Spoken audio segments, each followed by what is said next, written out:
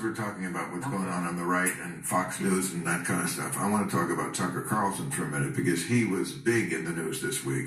I don't know if you saw this, but uh, he blew the lid on what happened on January 6, 2021 for real. Uh, no, really, this was his big thing. Trump tweeted about it. Uh, you know, the unpleasantness at the Capitol that happened that day.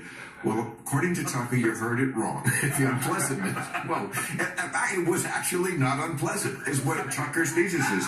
And he showed footage of people, and it's real footage from that day. You can't deny that. But there's a lot of footage from that day.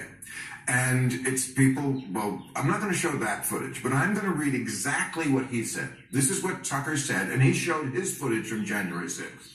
I'm going to read his words under the footage we chose from January 6th.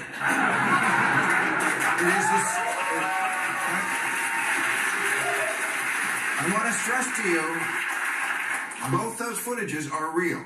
And these are exactly the words he said. He said, we're going to begin tonight with footage that shows you exactly what was happening inside the Capitol. The footage does not show an insurrection or a riot in progress. Instead, it shows police escorting protesters through the building. They were peaceful. They were orderly and meek. These were not insurrectionists. They were sightseers. Protesters queue up in neat little lines. They give each other tours outside the speaker's office. They take cheerful selfies and they smile. They're not destroying the Capitol. They obviously revere the Capitol. Okay, so everyone is. Uh,